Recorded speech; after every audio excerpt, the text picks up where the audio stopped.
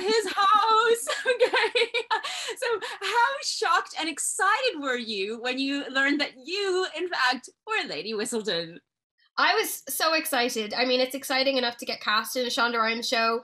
You know, I would have done any parts in it, and then to find out it was like that part just took it to a whole other level for me. And then in season two, going in, knowing the audience knew and knew that we'd get to go like behind the scenes with her and find everything out, I was thrilled. yeah, truly.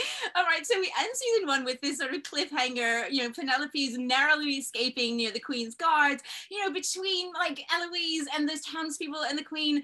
How is you know Penelope going to sort of evade everybody in season two and beyond the uh, you know the defense in this season? I think you see how stressful it is for her and how difficult it is for her because it requires her sneaking around an awful lot, which has become incredibly like more difficult having Eloise there because Eloise is attached, you know, to her hip. So it yeah, it becomes really difficult really, really quickly. Yeah, truly. Um, so I want to talk about sort of this duality in your beautiful character. And by the way, you, oh my goodness, you play her so so exquisitely well. And I spent the last eight hours with her, so.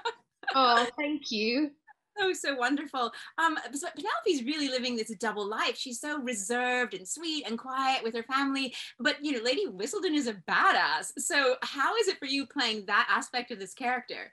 It's so much fun. I think you know it, what's interesting with her is she's such a bag of contradictions. You know, in season one we see her as this like sweet shy girl, but then when you find out she's been writing all this stuff, you go, oh, there has to be this other side to her because you can't write all that stuff and not have a little bit of it in you. So it was so fun to get to actually play all that outright and play that businesswoman side to her and then still play the sort of bratty teenager at home and play like the silly young girl with her friend. It was just great.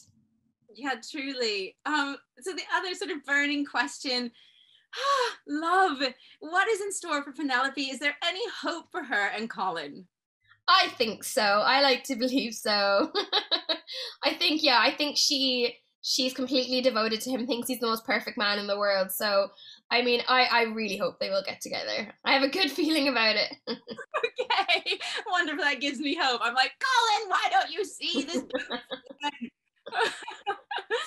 um, speaking of beautiful things, fashion is so front and center in the show. It is so gorgeous. Your costumes are so elaborate. I would love it if you could speak to that. But first, if I may say, yellow. Do you love this color? Because we see you in it a lot a lot. It's funny because in the beginning in season one, I knew well the characters meant to hate yellow from from the offset, and I was like, it's good, I like it, it's it's great. And then I think I've probably worn about seventy or eighty yellow dresses at this point. Am I now? I'm like, are, is the yellow done? Like, are we? can we move beyond it? Are we ready? You know, season three, I'm going to go in very strong and be like, I think we've had it. I think we've covered, we've ticked the yellow box and then we can move on now. yes, yes, yes. You may just have ticked the yellow box, but always Um, I want to talk a little bit about the Kardashians, and, and I understand that they were something of an inspiration for the Featherington family, and that Kim is dying to come to a fitting. Has that happened yes. yet? No, not yet, because we were su- everything was on super COVID lockdown. We had barely any visitors to set. Um, but yeah, they were Ellen Mirojnick, who designed the costumes for season one, said, you know, think of these these girls as the Kardashians of Regency London. You've got an ambitious mama and three daughters. So it was crazy then when the actual Kardashians watched and loved the show. It's wild. Yeah, truly. And you know, speaking of the Kardashian parallels, you know, you and your castmates were thrust into the spotlight really, really quickly. How are you sort of handling all that fame and attention? I mean, it, it's so strange. I think we sort of we experienced it sort of online first, which doesn't feel very real. It, you just sort of see numbers on a screen, and then we went back into production, which meant you know we had to be super careful and not really go anywhere for like seven months.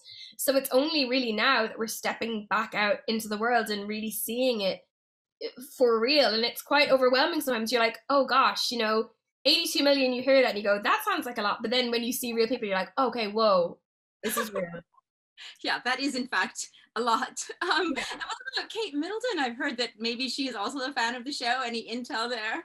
I've heard rumors. Well, I know there was one conversation where someone referenced Bridgerton. She was on a Zoom and then she started laughing. So I'm like, that's a knowing laugh. That's a knowing laugh. I feel like the Duchess she's she's into it. yeah, I'd say so.